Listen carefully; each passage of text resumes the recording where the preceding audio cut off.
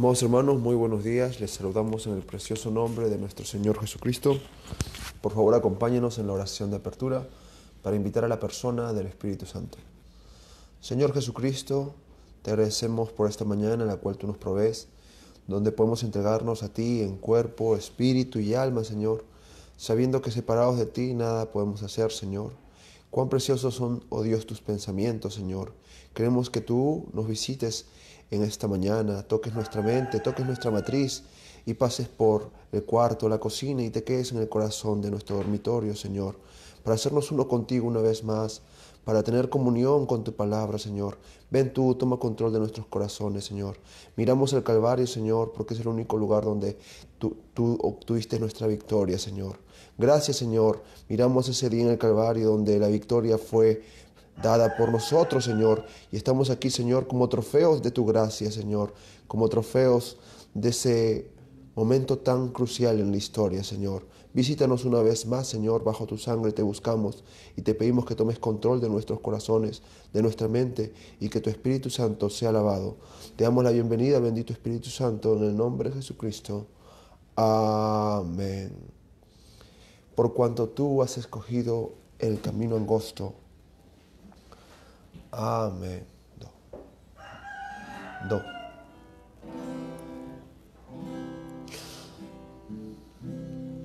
Por cuanto tú has escogido el camino angosto, la vía más dura. Ah, una gran porción del cielo a ti te espera por lo que has escogido.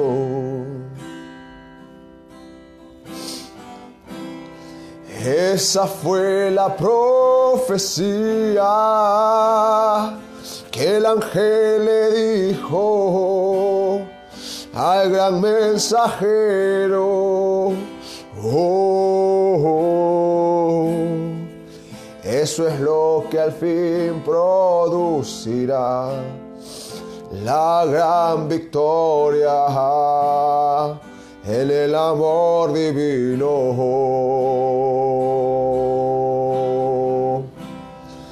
Caminaré este sendero, sí caminaré tras los pasos de Elohim Quiero llegar al fin del tiempo. Oh, amor divino, viva en mí.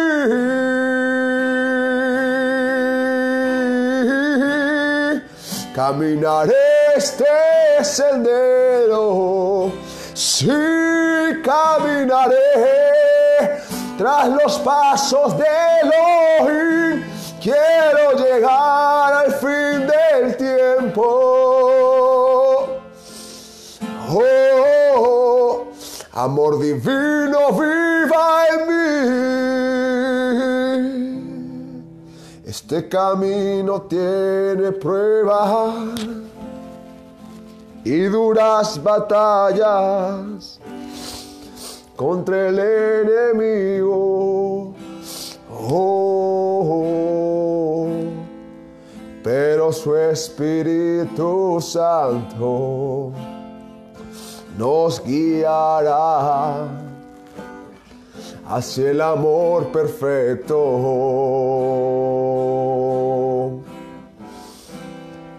Ya no queda mucho tiempo de peregrinar este camino.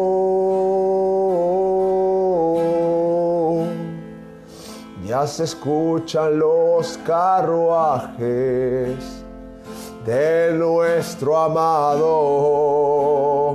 viniendo a nuestro encuentro. Caminaré este sendero Sí, caminaré tras los pasos de hoy. Quiero llegar al fin del tiempo. Oh, oh, oh. amor divino, viva en mí.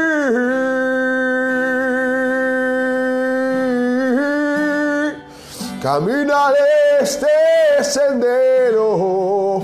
Sí, caminaré tras los pasos de Elohim. Quiero llegar al fin del tiempo. Oh, amor divino, viva en mí.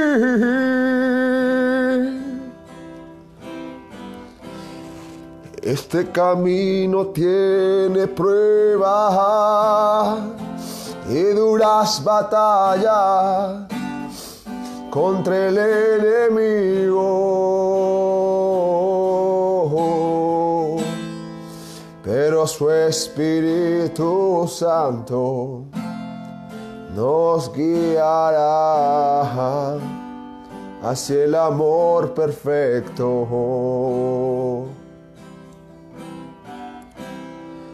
Ya no queda mucho tiempo de peregrinar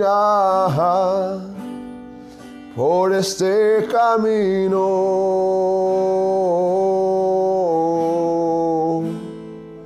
Ya se escuchan los carruajes de nuestro amado viniendo a nuestro encuentro. Ven Señor Jesús.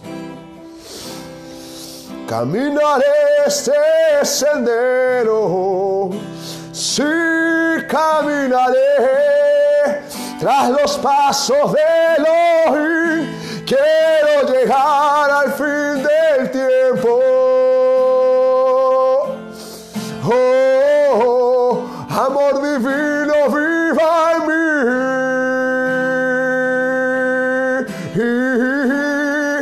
Caminaré este sendero, sí caminaré tras los pasos de Elohim. Quiero llegar al fin del tiempo.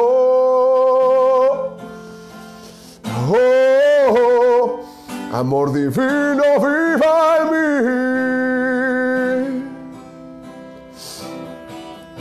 Tengo en mi alma un pesar, un deseo ardiente por volver. Pronto es el lugar donde estuve con él. Quiero a casa volver. Desde lo profundo de mi ser, un abismo clama por volver. Como un siervo herido, así clama mi ser. Quiero a casa volver. Sí, yo quiero volver pronto a ese lugar donde no moriré, no moriré. Abrir mis alas y volar de este mundo descansar. Quiero a casa llegar, aleluya. Sí, yo quiero volver pronto a ese lugar donde no moriré, no moriré. Mis alas y volar de este mundo descansar. Quiero a casa llegar. Cuando miro al mundo en su andar y veo el pecado crecer cuando al caminar me siento desmayar, quiero a casa volver. Tengo mi confianza puesta en. Este mundo pronto dejaré. Destino eterno ya trazado está. Sé que a casa llegaré. Alabado sea Jesucristo. Sí, sé que llegaré. Y como un vencedor, las puertas cruzaré. Yo cruzaré y con los santos cantaré a Cristo mi Señor, que me hizo un vencedor. Aleluya. Oh sí, sé que llegaré y como un vencedor las puertas cruzaré. Yo cruzaré y con los santos cantaré a Cristo mi Señor, que me hizo un vencedor. A Cristo mi Señor, que me hizo un vencedor. Con este canto recordaremos como Dios nos dio ese día de independencia cuando éramos ovejas perdidas y nos liberó. Eran 100 ovejas y recibiremos a nuestro nuevo pastor Jorge Escabarrossi.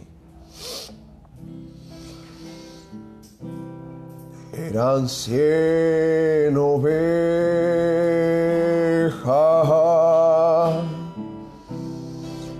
había en el rebaño.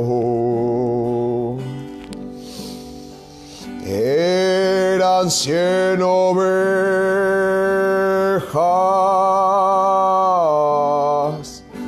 que amante cuidó.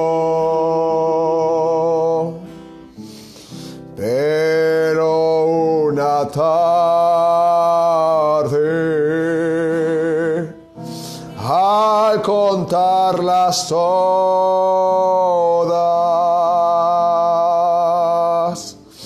le faltaba una, le faltaba una, y triste lloró. Las noventa y nueve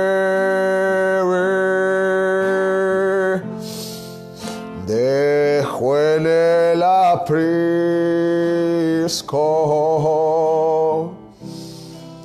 Y por las montañas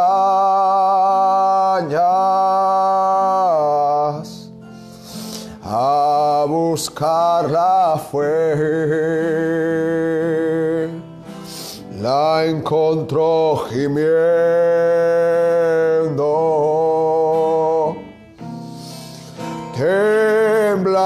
temblando y de frío.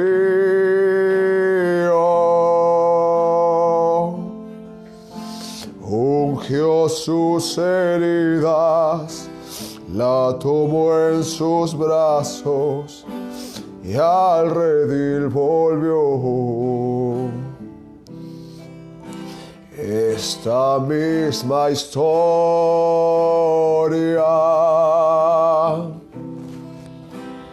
vuelve a repetirse.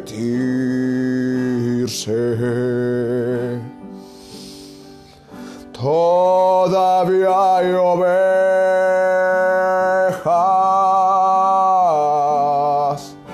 que rabundas van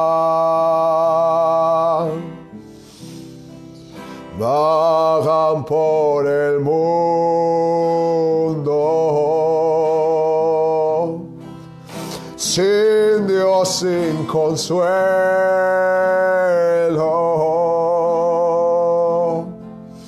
sin Dios sin consuelo, sin Dios sin consuelo. Y sin su perdón. Las noventa y nueve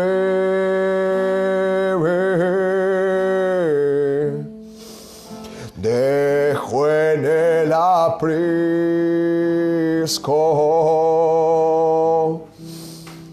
Y por las montañas a buscarla fue a buscarla fue, la encontró gimiendo, la encontró gimiendo, temblando de frío, temblando y de frío.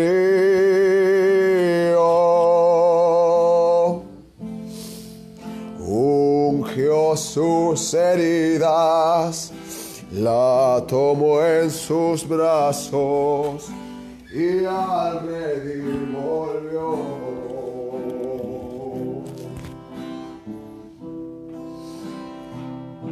Esta misma historia vuelve a repetirse. Todavía hay ovejas que rabundas van, vagan por el mundo, sin Dios, sin consuelo,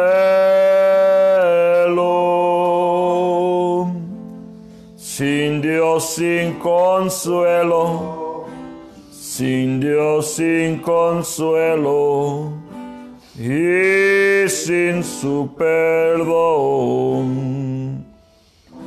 Las noventa y nueve dejó en el aprisco y por las montañas a buscarla fue la encontró gimiendo, temblando y de frío. Ungió sus heridas, la tomó en sus brazos y al redil volvió.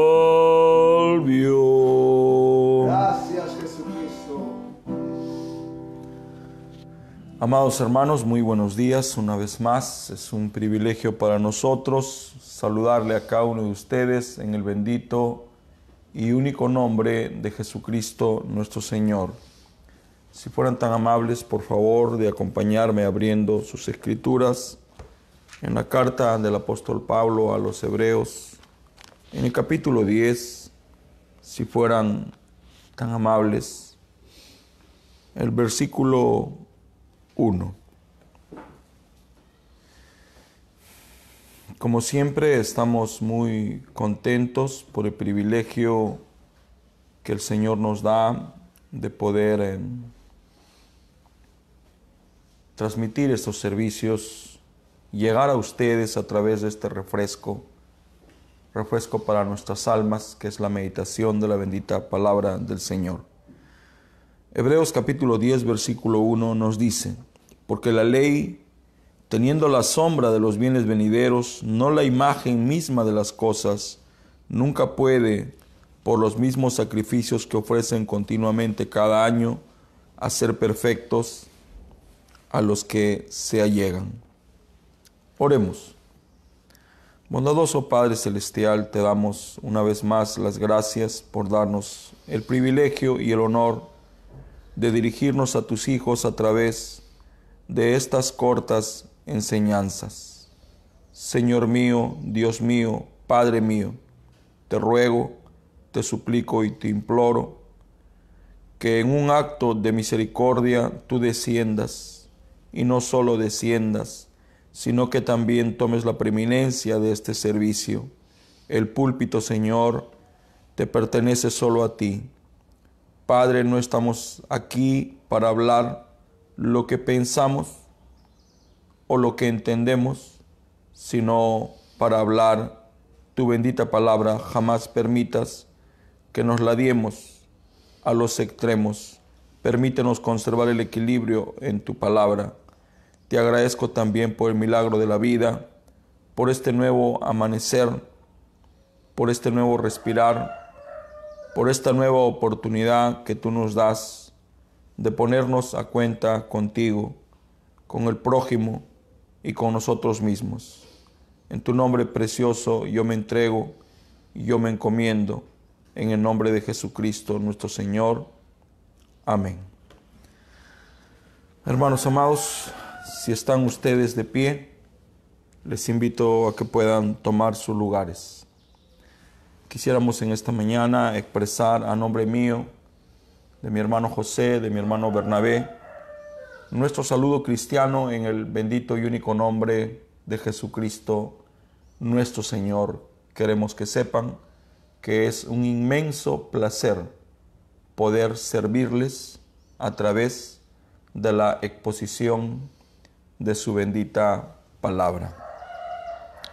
Hermanos amados, antes quisiera yo enviar algunos saludos. Eh, hace muchos años, cuando llegué por vez primera a Phoenix, Arizona, conocí a un anciano a quien solamente veía a través de los videos. Uno de mis héroes. Su nombre es Emilio Pérez. Pero no solamente lo conocía a él, tuve el privilegio y el honor de conocer a su novia, a su rosa, a su flor, a su chocolate, a mi amada hermana Rosa Amelia Pérez. Hermano Emilio, hermana Rosa, reciban en esta mañana mi cariño, mi afecto cristiano, mi respeto y mi saludo. Te amo, jamás olvido las palabras que usted vertió para mí, jamás las he olvidado, son parte de mi caminar, de mi estructura, ahora de mi hechura. Recuerde que estaré orando por usted y por sus seis amados hijos con la confianza de que usted también hará lo mismo por mi esposa, mis hijos, mi familia y por la pequeña congregación de la cual somos sirvientes. Te amo hermano precioso. Hermanos amados, quisiéramos, con el favor del Señor Jesucristo, continuar con el pensamiento que el Señor ayer colocó en nuestros corazones de hablar acerca eh, una de las cosas que movió mi corazón para hablar esto es al observar esta gran necesidad. No enseñamos estas cosas, muchos de los que escuchan no van a comprender qué es lo que estamos diciendo ni a dónde estamos apuntando. Quiero recordar, quiero hacer notar que el Antiguo Testamento es una sombra y de lo que es el cuerpo verdadero. Bueno, yo pudiera decir en esta mañana, muchas gracias, joven, es el Antiguo Testamento, pero este de aquí vendría a ser el Nuevo Testamento. Hemos aprendido que la sombra es un tipo, es un modelo, es un ejemplo, es un patrón. En otras palabras, la sombra no falla, la sombra no miente. Entonces, ¿qué es la ley? Una sombra, un tipo del Nuevo Testamento. Ahora, nosotros sabemos que la ley se encuentra en los primeros cinco libros de la Biblia, conocido como el Pentateuco. Recuerden que la Biblia dice que la ley y los profetas hasta Juan. Entonces, la ley son los primeros cinco libros de la Biblia los cinco libros de la Biblia que aceptaban los samaritanos. Los samaritanos solamente creían en el Pentateuco, no en lo demás. Es eh, curioso o curiosa la manera en que ellos entendían todo, porque en realidad en la ley encontramos la sombra de todo. Le preguntan al hermano Branham, ¿se irá la novia antes de la tribulación? Y él dice, efectivamente. ¿Y cómo lo sabe? Por los tipos y las sombras. Y cuando habla de los tipos y habla de la sombra, coloca a Enoch como tipo de la novia y coloca a Noé como tipo de la Virgen Fatua y coloca el diluvio como el tipo de la tribulación. Todos los eventos finales que están aconteciendo ahora delante de nuestros ojos fueron escritos en la ley y en el Antiguo Testamento como una sombra. Todo lo que sucedió atrás era exactamente una sombra. Nosotros hemos aprendido a través de la lectura de la Biblia, a través del mensaje, que cuando Dios hizo al hombre y lo colocó aquí en la tierra, sacó de su costado una mujer que era su otra mitad, su otro yo, y los colocó aquí en la tierra a vivir. Todos nosotros, por la gracia del Señor, hemos aprendido eso. ¿Y qué hizo con ellos? Hizo un pacto. Este pacto era un pacto condicional. Ellos fallaron a este pacto. El pacto que ellos celebraron con Dios decía, el día que de él comiereis, ese día moriréis. Este era un pacto con condiciones. Hemos aprendido que Dios hizo un nuevo pacto con Adán y con su esposa, después de que ellos habían quebrado el primer pacto. Pero la humanidad, su descendencia, no respetó este pacto. Y casi por el año 1560 o 1600, los hijos de Dios ya habían puesto los ojos en las hijas de los hombres o sea, estaban incurriendo en el mismo problema que se trajo abajo el Edén y que fue la mezcla. ¿Qué es lo que originó todos los males? La mezcla. Dos especies diferentes se mezclaron, el hombre y la bestia. Y ahora, casi 1600 años después, los hijos de Dios, los descendientes de Set, están colocando los ojos en los descendientes directos de Caín y empiezan a emparentarse, empiezan a unirse y esto hizo que la ira de Dios se encienda y que incluso se arrepienta de haber criado al hombre. Es así que Dios decide destruirlo todo a través de un diluvio hasta que un hombre halló gracia a los ojos de Dios. Este hombre nos dice la Biblia que se llamó Noé. Noé es un tipo de la Virgen Fatua, aunque muchas veces el hermano Branham también lo coloca como un tipo de la Virgen Prudente. Todo depende de qué ángulo nosotros lo estemos mirando.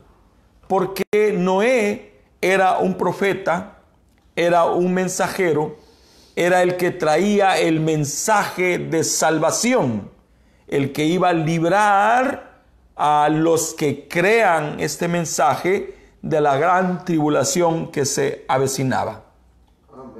Todos nosotros sabemos lo que sucedió él predicó durante 120 años. Su mensaje conmocionó al mundo entero, tanto que mandaron naves espaciales al espacio para ver si verdaderamente había agua. Sabemos cuál fue el resultado de esa expedición. No encontraron nada, pero eso no desanimaba a Noé, porque Noé había tenido una conferencia con Dios. Después de 40 días de una torrencial lluvia, después de vagar en este cúmulo de agua silencioso, él encontró tierra. Y cuando bajaron del arca, Dios hizo un pacto con ellos. ¿Y qué le mostró? Un... Ahora, la Biblia dice que no hará nada Jehová el Señor aquí en la tierra sin que revele primero sus secretos a sus siervos los profetas. Y aquí estaba Noé, un hombre de Dios. Y Dios le estaba mostrando sus secretos en un tipo y una sombra. Este tipo y esta sombra es y era el arco iris. Y dijo: Esta será una señal que yo no castigaré más la tierra por un diluvio. Pero ¿qué representaba este arco iris de siete colores? ¿Qué es lo que era este arco iris? Yo pudiera contestar con la respuesta que nos da el hermano Banan y decir que son las siete edades de la iglesia. Y sí, hay innumerables pasajes en los diversos mensajes que predicó nuestro amado hermano Branham, donde él nos dice que este arco iris no era otra cosa sino que las siete edades de la iglesia. ¿Qué es lo que había pasado? La iglesia de Dios había fracasado. Entonces él le muestra en un tipo a la iglesia pero la muestra a lo largo de sus etapas, a lo largo de un proceso, a lo largo de lo que conocemos como las siete edades de la iglesia. Él, Dios, le mostró a Noé en este tipo, en esta sombra, su plan. El plan divino para restaurar la iglesia. Ahora recordemos que han habido dos iglesias, la iglesia del Antiguo Testamento y la iglesia del Nuevo Testamento. Estas dos iglesias, estas dos iglesias descansaban sobre un fundamento. Cuando nosotros miramos la iglesia del Antiguo Testamento, nos damos cuenta nos damos cuenta que Dios llamó a Abraham, salí pueblo mío de en medio de ellas, que es llamamiento. Después justificó a Isaac, después limpió a Jacob, pero con José hizo la perfección. Estos cuatro son los patriarcas que formaban el fundamento sobre el que se levantaría, se edificaría la iglesia del Antiguo Testamento, que también pasó por siete etapas. El Antiguo Testamento iba a ser simplemente un tipo y una sombra de la iglesia verdadera iglesia verdadera que tres mil años después o dos mil quinientos años después fundaría Jesucristo, el verbo hecho carne. Aún la iglesia del Antiguo Testamento era un tipo y una sombra de la iglesia que él levantaría en el Nuevo Testamento. Recordemos que en Mateo capítulo 16 Jesús dijo, bienaventurado eres Simón, porque lo que acabas de decir no te lo reveló carne ni sangre, mas mi Padre que está en los cielos. Mas yo te digo que tú eres piedra, pero yo soy la roca, y sobre esta roca se fundará mi iglesia. No es la iglesia de ningún hombre, esta es la iglesia verdadera. Más la iglesia del Antiguo Testamento era simplemente una fiel sombra, un fiel modelo, un tipo perfecto, un patrón perfecto de la iglesia que más adelante él levantaría. Entonces, ¿qué le mostró Dios a Noé? Le mostró su plan. Le mostró su secreto. Le mostró lo que él iba a hacer. Le mostró cómo iba a recuperar a la iglesia que cayó en el Edén. Porque en el Edén no solamente cayó un hombre, no solamente cayó un matrimonio, cayó también la iglesia. Había una iglesia. El pastor de esa iglesia era Adán. Entonces Dios le muestra a Noé lo que él iba a hacer, la forma en que iba a recuperar la iglesia. Le mostró que no iba a ser de la noche a la mañana, no iba a ser algo que sucede así por así. Le mostró a través del tipo de la sombra que iba a ser un proceso, un largo proceso. Y esto se lo mostró a través de los siete colores del arco iris. Los siete colores del arco iris eran un tipo y eran una sombra. Recuerden, recuerden, recuerden que José, el que simboliza la perfección de los patriarcas, era un joven singular, dotado de dones y talentos, un hombre que veía visiones, pero que también tenía sueños, y él vio un sueño vio al sol, a la luna y las estrellas postrarse delante de él.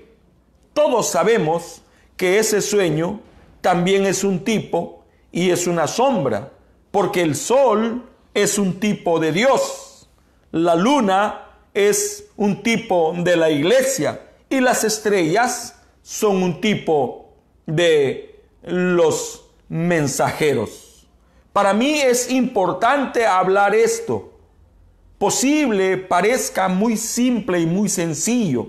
No me sentiría mal que usted diga de mí que soy muy simple. Hay algunas personas que me han dicho, eh, ¿por qué usted hace tan simple el Evangelio? Bueno, yo no puedo hacer el Evangelio más simple de lo que lo hizo Jesús. No puedo hacer del Evangelio más simple de lo que hizo nuestro amado hermano Branham. En realidad, en realidad, la palabra del Señor no es complicada. La palabra del Señor es simple, solo que, sin darnos cuenta, nos sigue siempre a nosotros el pensamiento de que debemos hacer algo. En realidad, no debemos hacer nada, aunque la única cosa que debemos hacer es creer.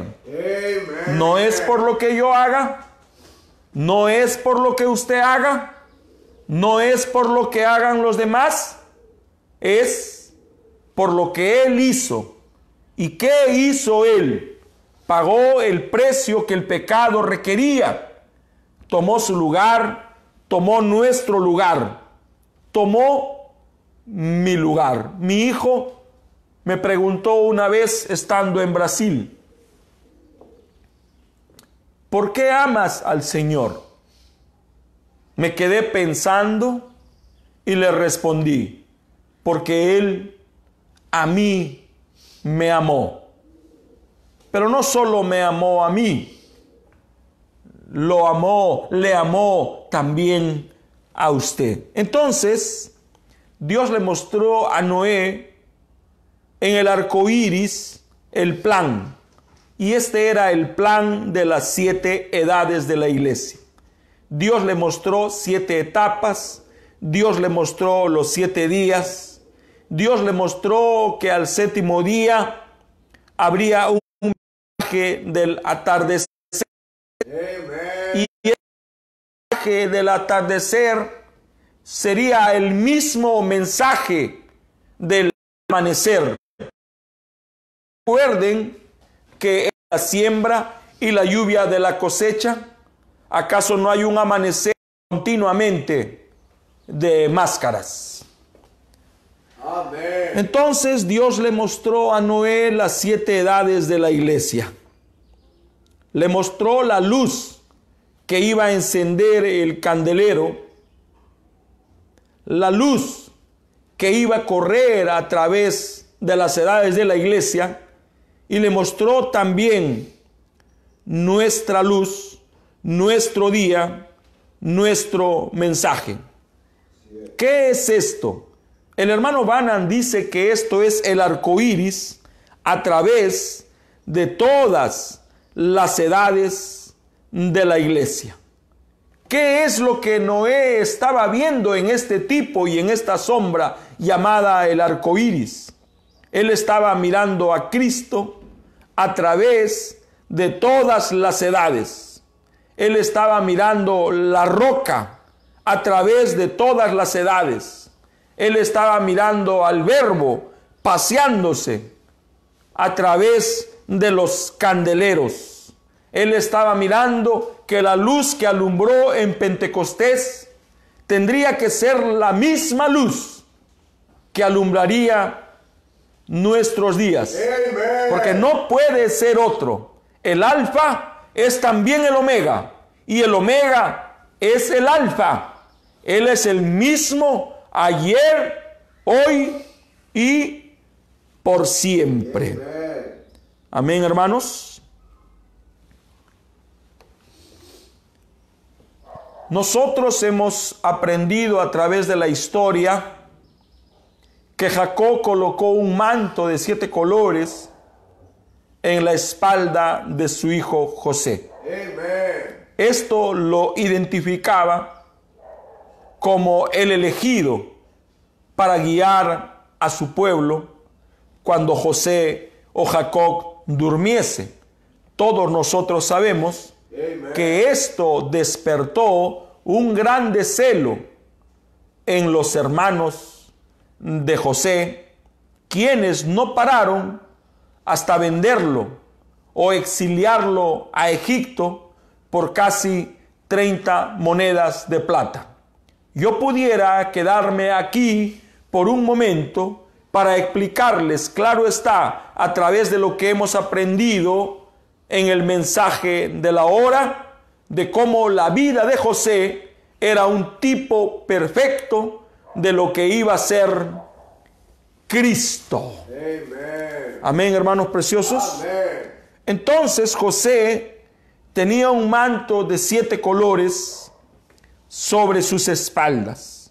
Y este es el mismo manto que cubrió a Jesús en Apocalipsis capítulo 1, cuando dice que él tenía por encima de él el arco iris. Ahora, este arco iris, esta unción, esta vida, este espíritu, está ahora cubriendo a la iglesia, está dándole protección, está dándole cobertura.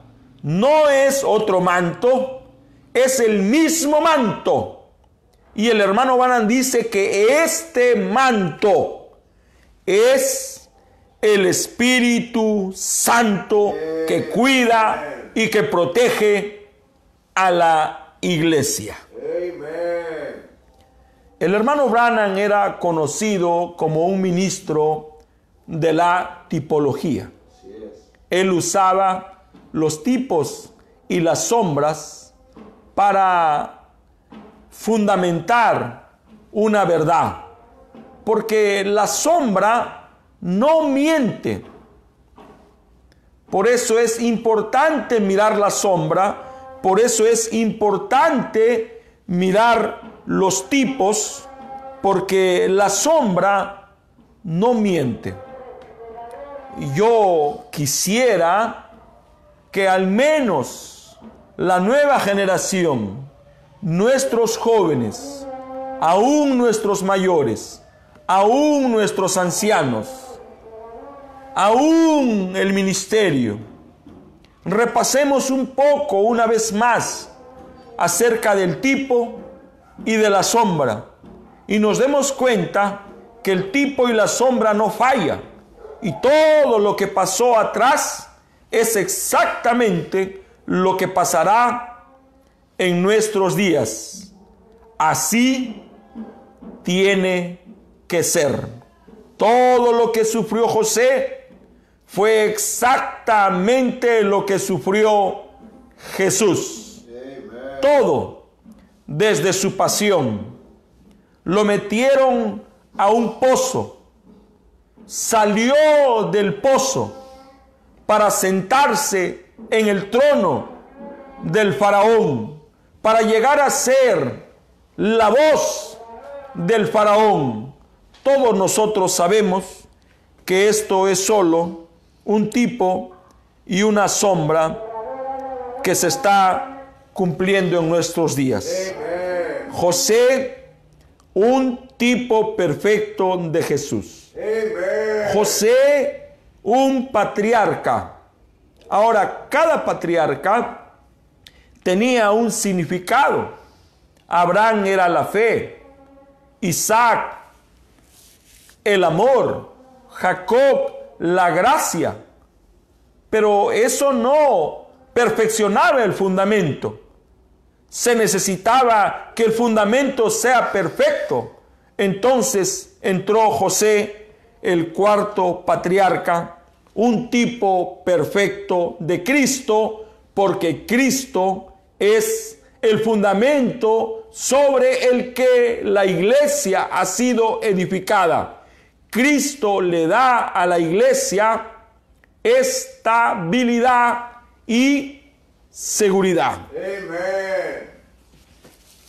Entonces José se vistió con un manto de siete colores, igual como Jesús fue vestido en Apocalipsis capítulo 1.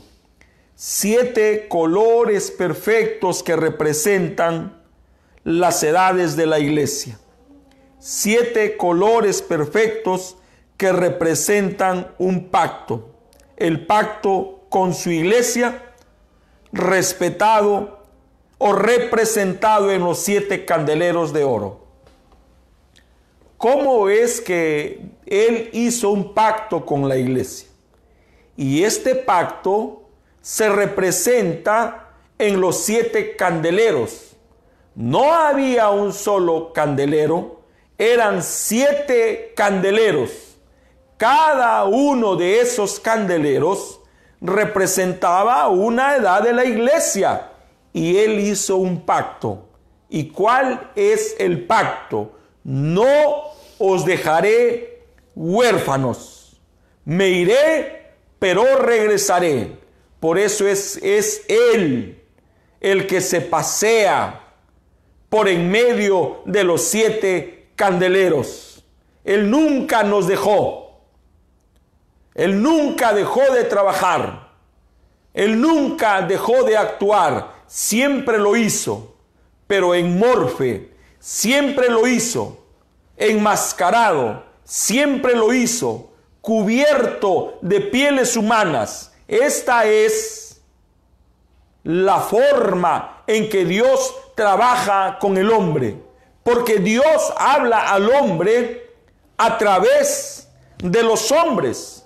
Y si nosotros no podemos entender este pequeño pensamiento, vamos a tener una mente denominacional y vamos a llegar a creer que el hermano Branham llega a tomar el lugar de Jesucristo.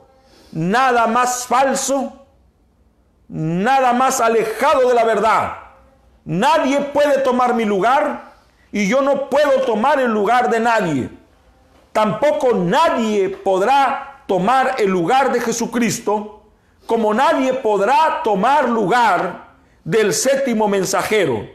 Esta es la razón por la que soy enfático en decir que no hay un octavo, no hay un manto de Elías, no hay un Josué, aunque sí lo hay, aunque sí hay el manto.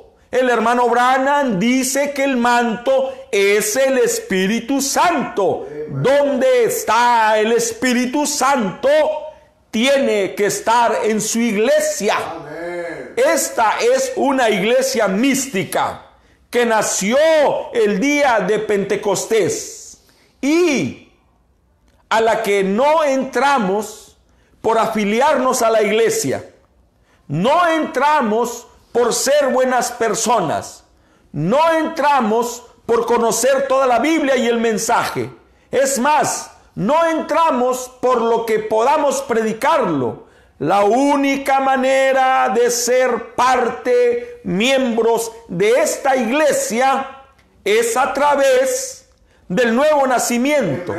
Y díganme, por favor, ¿cuál es la vida de esta iglesia? El Espíritu Santo. Las palabras que yo os hablo son espíritu y son vida. Amén, Amén hermanos preciosos. Entonces,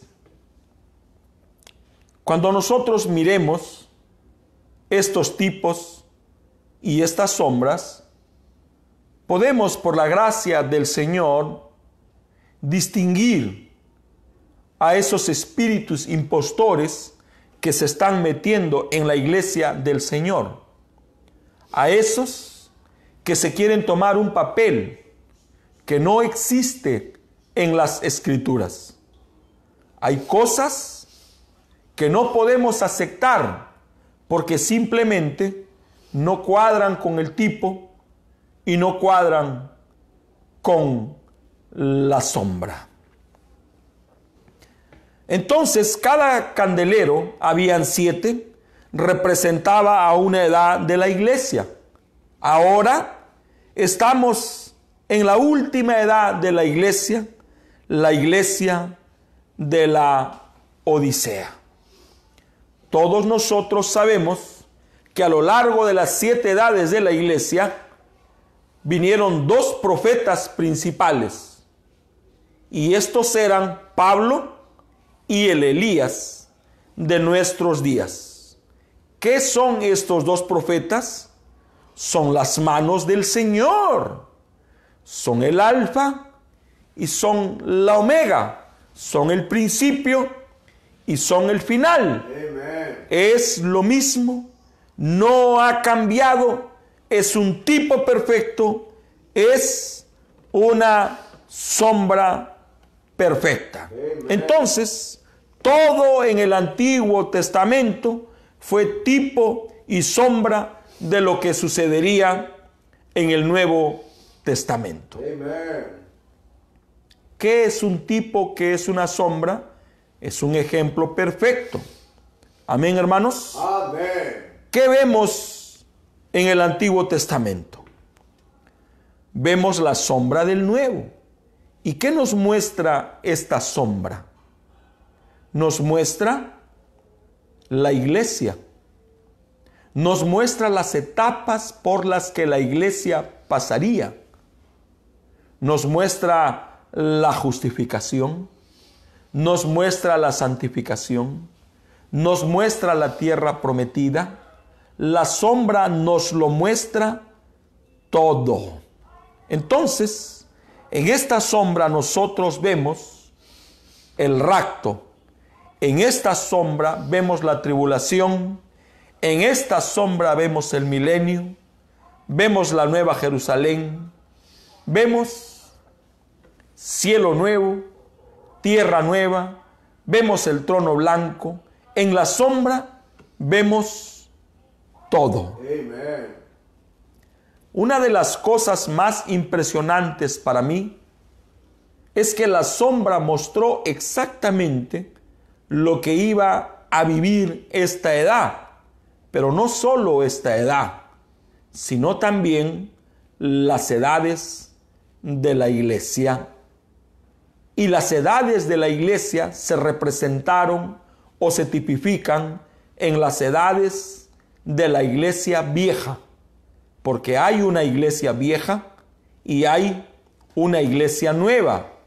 Recordemos a vos, vos, un tipo de Jesucristo, un tipo que redime a la iglesia nueva, pero también redime a la iglesia vieja, porque eh, representaba a la iglesia gentil, pero Noemí representaba a la iglesia ortodoxa, la iglesia vieja.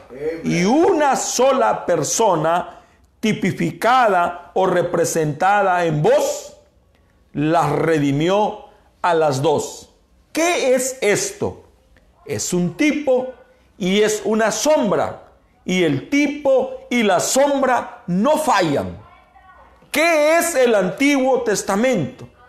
Es el plan de Dios velado a través de los tipos y las sombras que iba a ser la vida de los hombres de Dios que él iba a estar enviando.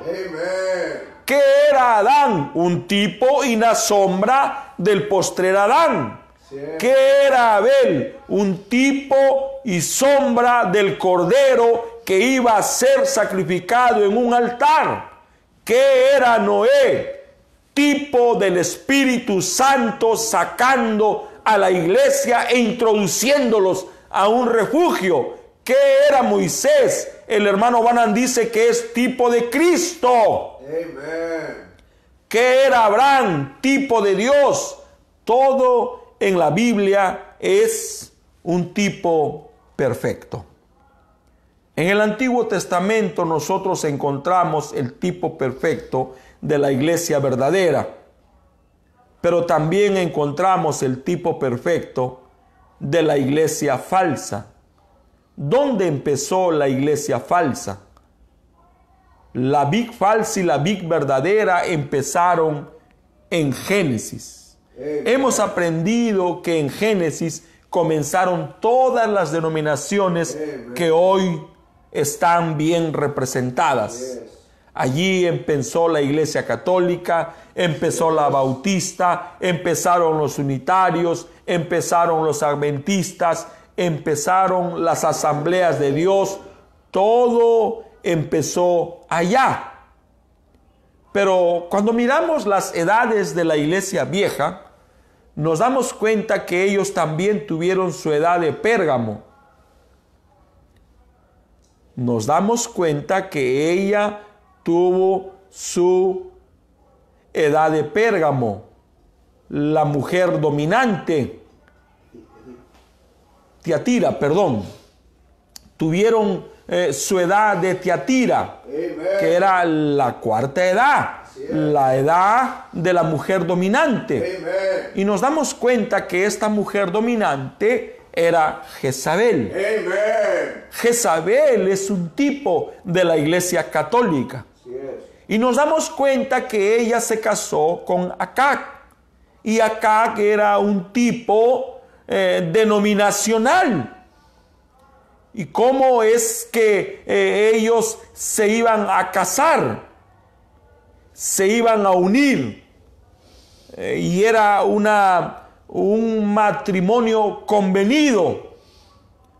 Nosotros hemos visto a través de la historia que Jezabel tuvo eh, una hija y esta hija también se casó con un hijo de Acac que se llamó Jorán.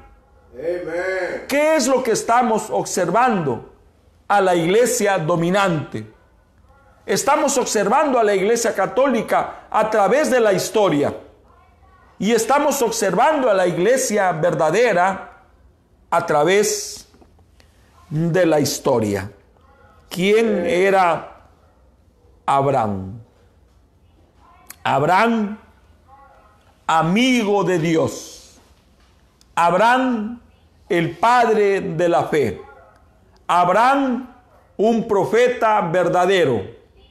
Pero Abraham también es tipo de Dios. Y voy a empezar a colocarlo aquí en la pizarra, sabiendo que me estoy aproximando al final de esta enseñanza, de este servicio.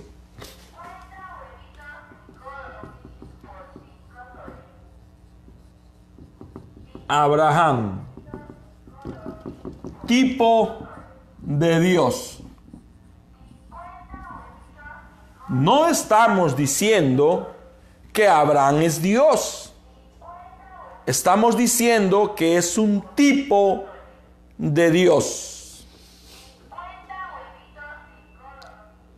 Abraham no podía tener hijos con Sara. Sara, la iglesia vieja, que no podía tener hijos.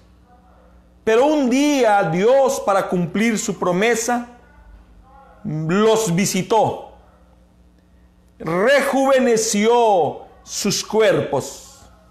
Abraham, de casi 100 años, amaneció como un joven de 18.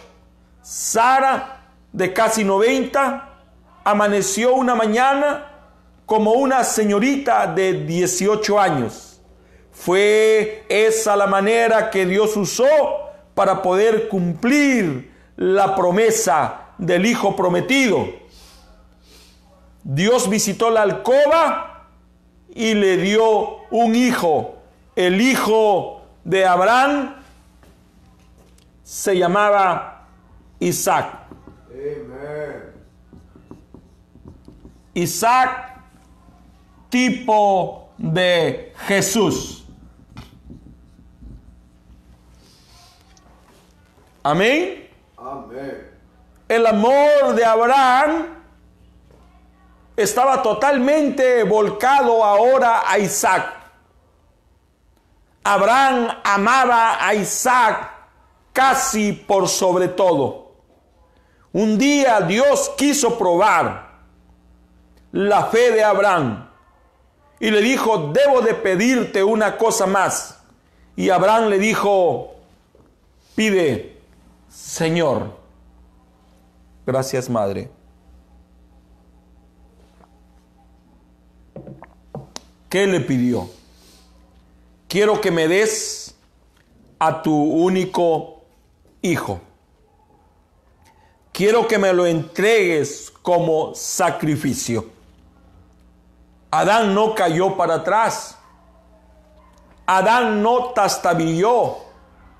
Adán no enmudeció Abraham. Abraham dijo amén, porque él ya había visto el cuadro. Él ya había visto el plan de Dios. Y él sabía, él sabía que Isaac era el hijo de la promesa. Él sabía que a través de él iba a venir Jacob, a través de Jacob iba a venir José. Abraham sabía que ese iba a ser el fundamento y él no dudó en lo que Dios le estaba pidiendo. Si Dios me pide que lo mate, lo voy a matar, porque Él es tan bueno como para volver a resucitarlo. Ahora, Abraham mató a Isaac, sí lo mató. ¿Dónde lo mató? En su mente y él se lo llevó a la punta de la montaña e hizo que Isaac cargue sobre sus hombros la leña que serviría para quemarlo, para sacrificarlo. Todos nosotros sabemos que esto es un tipo del sacrificio del Hijo de Dios, Jesús, quien iba a morir por sus pecados por mis pecados, por los pecados del mundo. Entonces, todo en la Biblia es un tipo perfecto. Voy a leer, antes de terminar con este cuadro, dos extractos del mensaje que, que nos proveyó nuestro amado hermano Joseph Cabanillas El primero es el ángel del Señor, párrafo 17. Muy bien, José, uno de los patriarcas, fue vendido a Egipto, un tipo perfecto de Cristo, traicionado por sus hermanos, vendido por unas piezas de plata, aproximadamente 30 piezas, casi igual como lo fue Cristo. Él usó un saco de muchos colores, como se le vio a Cristo en Apocalipsis 1, sentado en un trono y un arco iris sobre él. Hay siete colores perfectos representando las siete edades de la iglesia. El arco iris representando un pacto. El aspecto de él era como piedra de jaspe y cornalina, lo cual es Rubén y Benjamín, el primero y el último, el que era, el que es y ha de venir, la raíz y el linaje de David, la estrella de la mañana. Qué maravilloso. Y con el pacto a sus iglesias, siete candeleros de oro detrás de él. Cada candelero representa a una edad de la iglesia. Y nosotros estamos viviendo en la edad de la Odisea, la última. Y él estaba parado con sus manos extendidas para ser vistas, y allí una mano de esta manera, el alfa, la otra mano como el omega, y las luces se apagaron hasta llegar a las edades del oscurantismo, y vino descendiendo igual como ellos entraron, también saldrán la misma clase de iglesia, la misma clase de señales, la misma clase de gente, el alfa y el omega.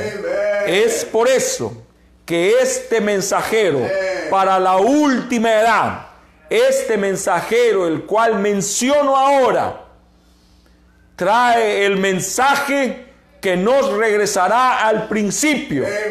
El mismo mensaje que se predicó en Pentecostés, el mismo mensaje que predicó Pablo, es el mismo mensaje que el mensajero de Malaquías 4:5 predicó.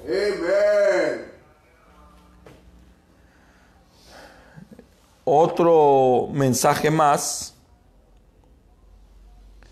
también provisto por nuestro amado hermano José. El agua de la roca siempre presente, párrafo 17. Así que podamos unir esto correctamente. Hay una gran lección que es una piedra de tropiezo para muchos teólogos y maestros a través de esta edad, gente de la iglesia de Cristo y los que han venido a oír esto. Son las 70 semanas de Daniel. No podemos avanzar con el libro de Apocalipsis hasta que hayamos unido a la novia e Israel junto con las 70 semanas de Daniel.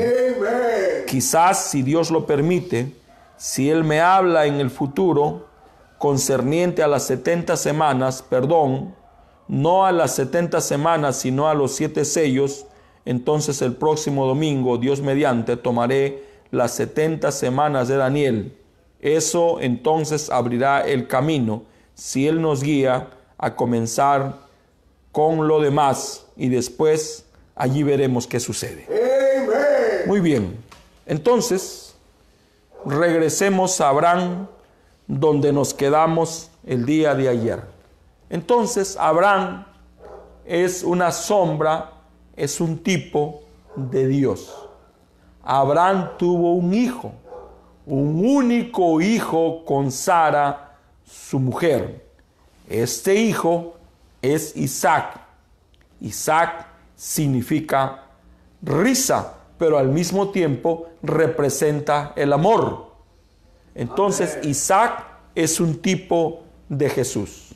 Cuando Isaac llegó al tiempo de la vida, Abraham pensó que debía conseguirle una esposa, una pariente cercana, una pariente de sangre, y encomendó esta tarea a su mayordomo fiel, a su hombre de confianza, a su jefe que administraba su casa.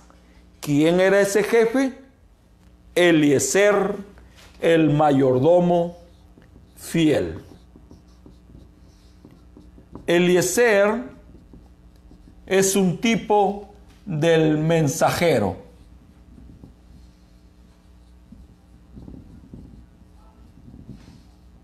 El nombre de este mensajero es William Marion Branham. Amén, hermanos. Es un tipo. Ahora, él tenía que buscar una esposa para Isaac. No era el trabajo de Dios, aunque era el trabajo de Dios, pero él delegó, encomendó, entregó esta tarea a su hombre de confianza, Eliezer. ¿Quién era Eliezer? Era el encargado de buscar a la esposa de su Señor. No era una tarea fácil, esta era una tarea difícil. Solo no podría hacerlo. Por eso es que Abraham le dijo, el Dios a quien sirvo enviará su ángel delante de ti y él prosperará tu camino. Entonces, ahora tenemos al ángel. Sin el ángel, él no hubiera podido encontrar a la novia. Recuerden los que han visto eh, algunos videos que están a nuestro alcance. Recuerden al hermano Branham hablando en el púlpito y dicen, saben que estoy esperando por alguien. ¿A quién estaba esperando? Al ángel. Y cuando el ángel llegaba decía, ahora sí, todo está bajo mi control. El ángel está aquí. El hermano Billy Paul cumplió uno de estos días 85 años. Dios, a través del hermano Branham, le permitió ver al ángel del Señor que visitaba frecuentemente al hermano Branham. Todos nosotros sabemos que este ángel pesaba aproximadamente 200 libras, unos 94 kilos, que medía casi 6 pies, un metro 86. Tenía tez morena. Este era el ángel que acompañó el ministerio de nuestro amado hermano Branham. Pero para que no piensen que yo soy un hereje, voy a descender. Yo creo que un ángel acompañó al hermano Branham, pero no solo al hermano Branham. Yo puedo decir que un ángel también me acompaña a mí. Ahora yo sé que esto puede sonar muy atrevido, y sí, soy atrevido, pero no me quedo allí. Yo creo que a usted, hermano, a usted, hermana, un ángel asignado por Dios lo acompaña. Esto quiere decir que usted jamás ha estado solo.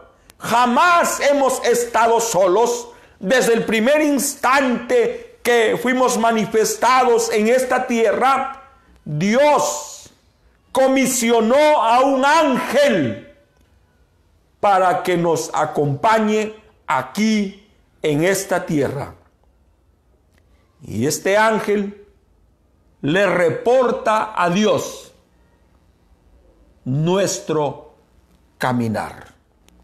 Entonces no solo al hermano Branham, también a ustedes, también a mí, un hombre de Dios a quien amo, respeto y honro, dijo que cuando Judas nació, también un ángel lo cuidó, porque Judas era una pieza fundamental para que la obra de redención cobre forma. ¿Qué hubiera sido si a Judas le pasaba algo? ¿Qué hubiera sido si Judas moría de joven? No se hubiera dado la obra de redención porque Judas era una pieza fundamental. Él tenía que vender al maestro. Así es. Amén. Amén, hermanos. Así es. Entonces, a Eliezer lo acompañaba el ángel. Amén. Amén, hermanos. Es. Voy a descender. A Pablo lo acompañaba el ángel. Amén. A Ireneo lo acompañaba el ángel. A Martín, a Colombo, a Lutero, a Wesley, el ángel los acompañó. Jamás hubieran podido desarrollar la encomienda que Dios colocó en sus manos si este ángel, si esta presencia sobrenatural no les hubiera acompañado. Un hombre de Dios me dijo a mí cuando estaba predicando en los Estados Unidos. Estaba eh, cantando el que estaba por presentarme. Yo ya estaba en la plataforma y de repente un hombre me toca el hombro. Volteo para mirar, lo saludo con respeto y me dice, ¿has notado que hay en tu hombro derecho? Y no vi nada. Nunca he visto nada. Y me dijo, el ángel del Señor está a tu lado derecho y se sentó naturalmente. Esto me confundió.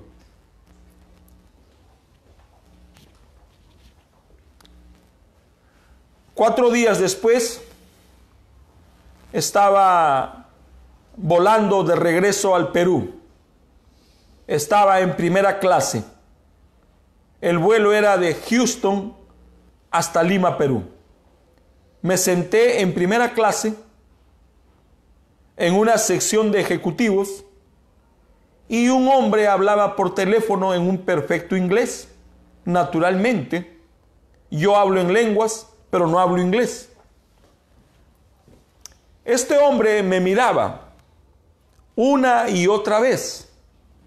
Posible pensé que este hombre tenía problemas de identidad. Cuando de la cabina salió una voz, vamos a despegar, apaguen todos sus dispositivos electrónicos, pónganlo en modo avión. Entonces este hombre dejó de hablar por teléfono y de repente me empezó a hablar a mí. Y me dijo, ¿quién eres? Naturalmente su, su, pregunta me sorprendió. Le dije, ¿cómo? ¿Quién eres? ¿Por qué la pregunta? Por favor, dígame quién es usted. Le dije, yo soy un predicador del Evangelio. Y se tiró para atrás y me dijo, con razón, yo soy un hechicero, yo soy brujo, yo practico magia negra, yo practico todas las artes oscuras. Y tengo más de 30 minutos tratando de hacer contacto con tu espíritu y no puedo, porque a tu lado derecho hay una presencia sobrenatural que no me lo permite. Cuatro días antes, un hombre me dijo que el ángel del Señor estaba a mi lado derecho. Cuatro días después, un hechicero me estaba diciendo que a mi lado derecho había también una presencia sobrenatural. Claro está, esto no significa que yo sea algo. Le dije ayer al hermano Emilio Pérez que yo también soy un don nadie, soy un don nada. ¿Qué estoy tratando de decir? No digo esto para que tomen atención a lo que digo, o para que tomen eh, o, piensen que soy eh, un ungido. Sí somos ungidos, ustedes son ungidos, también lo soy yo. El ejemplo que estoy poniendo es para asentar lo siguiente. No solo a mí me acompaña una presencia sobrenatural. Yo, Jorge Escabarros y Chacón, cree que una presencia sobrenatural acompaña a cada hijo de Dios.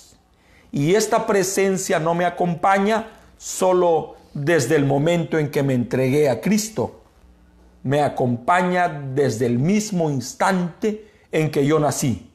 Esta presencia ha estado conmigo aún en mis momentos más oscuros y más difíciles.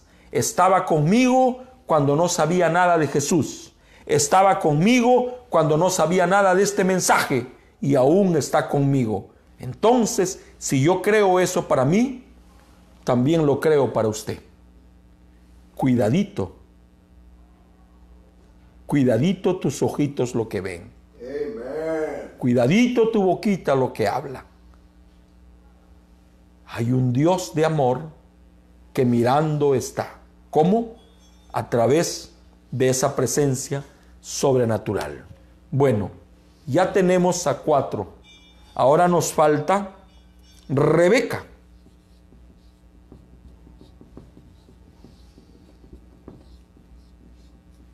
Rebeca tenía que ser una pariente. Tenía que tener la misma sangre. Tenía que ser del mismo material tenía que tener el mismo carácter, la misma fe. Ahora ella es tipo de la novia.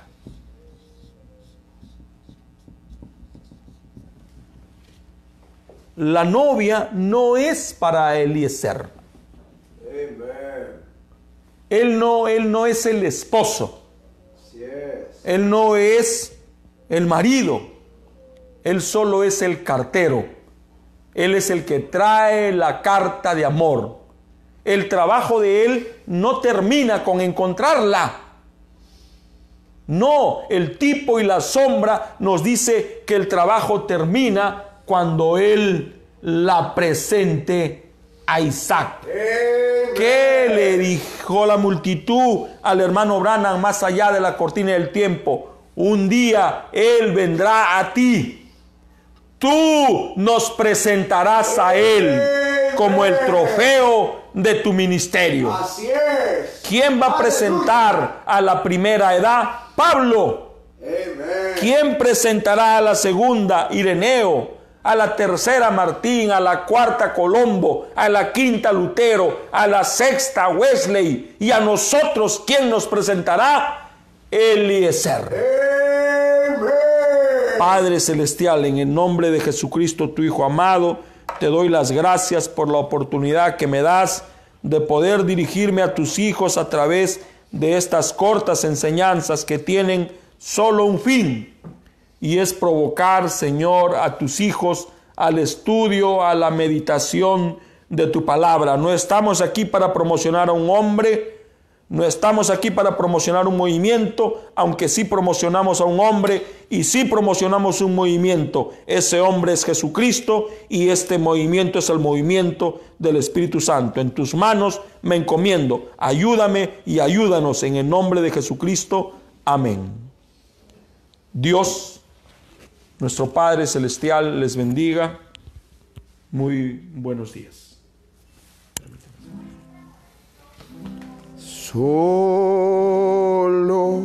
cree. Solo cree. Todo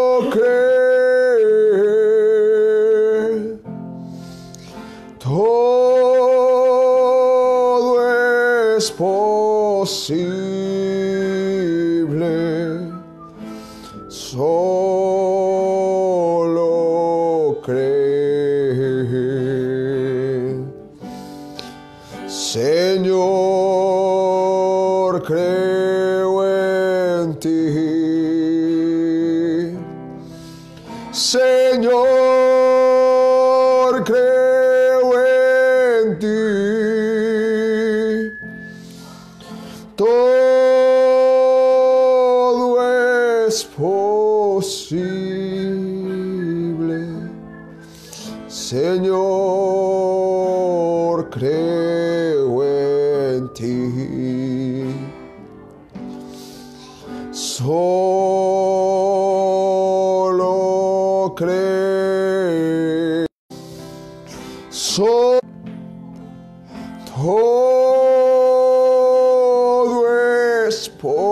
posible.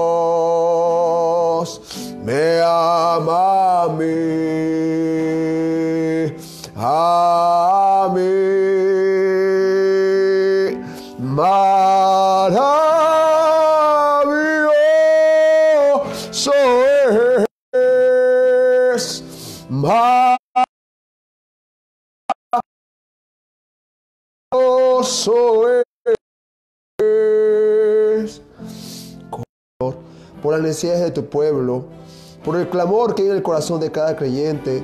Si hay una necesidad de liberación, Señor, si alguien tiene cargas, dolencias, tú nos dijiste, venid a mí todos los que estéis cargados y cansados, que yo os haré descansar. Si hay alguien que está cargando una enfermedad, que es un demonio, Señor, desechamos toda enfermedad. Toda dolencia, Señor, todas nuestras cargas las traemos a ti para ser libres bajo tu sangre poderosa derramada en el Calvario, bajo esa palabra, bajo tus atributos de sanador, de salvador, de restaurador, de redentor, Señor. Gracias por escuchar nuestras súplicas. Gracias por escuchar nuestros latidos del corazón. La novia tiene esos latidos latiendo cada día más por tu santa presencia, Señor Jesús. Gracias por escucharnos. Asimismo te queremos dar acciones de gracia por la economía, por el trabajo, por el privilegio que nos das de servirte, Señor. A nuestros hermanos que están saliendo a trabajar, protégelos. Cuídalos, Padre Celestial. Al que no tiene trabajos, proveles. Al que tiene necesidad, suple toda necesidad. Tú eres Jehová nuestro pastor. Tú eres nuestro esposo fiel. Y tú prometiste sustentarnos completamente. En el nombre de Jesucristo te lo agradecemos, amado Rey. Amén.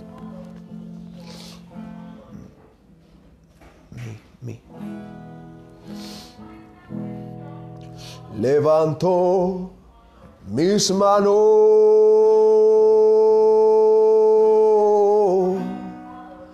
aunque no tenga fuerza.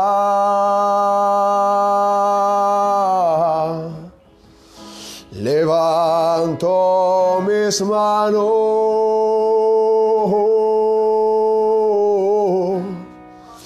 aunque tenga mil problemas.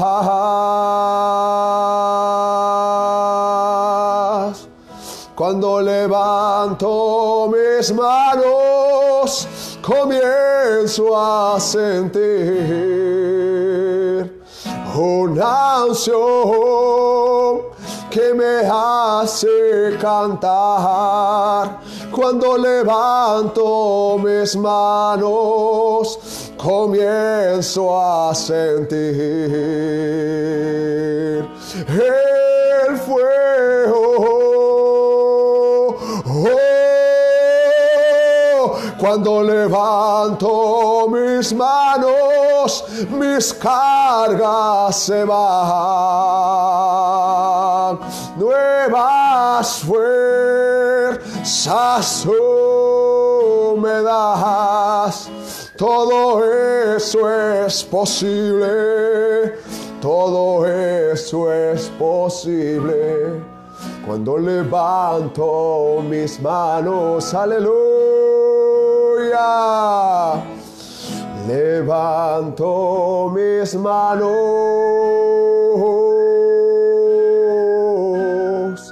aunque no tenga fuerzas.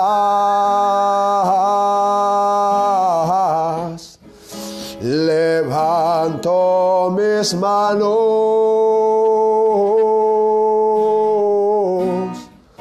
aunque tenga mil problemas.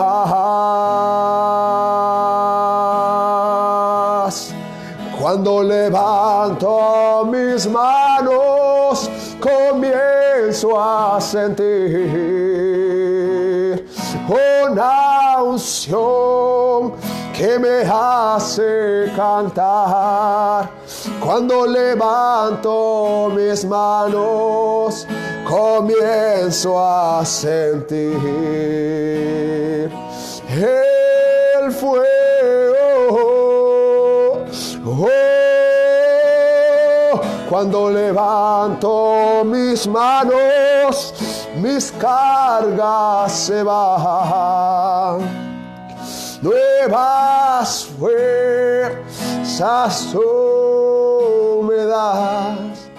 Todo eso es posible, todo eso es posible cuando levanto mis manos.